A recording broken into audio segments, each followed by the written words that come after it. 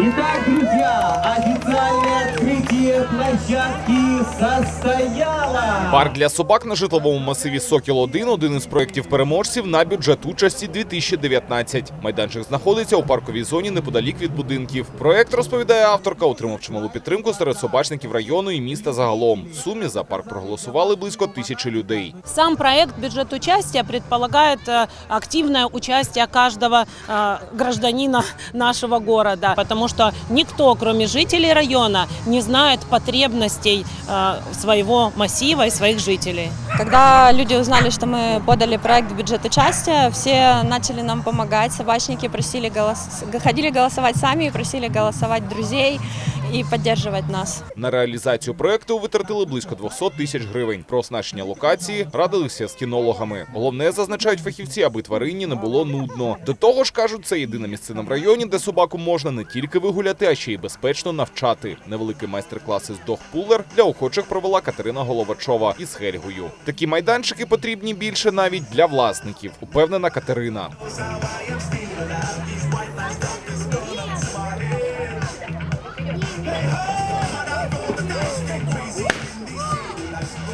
Це перш за все потрібно для людей. Я наголошую для людей, які хочуть, щоб їх собакою не боялися люди. Ну тобто я розумію, що я от не можу в такій толпі а, бросити кільце, щоб собака побігла за ним.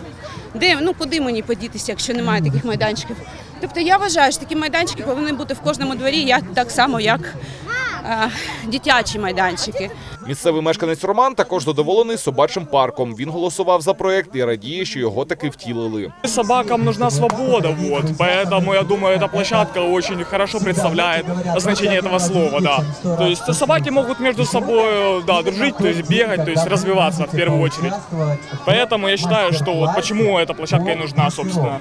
Це лише четвертий спеціальний майданчик для тварин у Дніпрі. Сокіл Докс Парк огороджений по периметру парканом, але обіцяють буде відкритим для всіх. Замків не планують вішати. Сподіваються на відповідальне ставлення людей. Очень большое количество людей нас поддержало и голосовали за этот проект, поэтому мы надеемся, что для них это ценно и они будут сохранять это. Кирило Бережний, Тарас Іванов. Новини 9 каналу.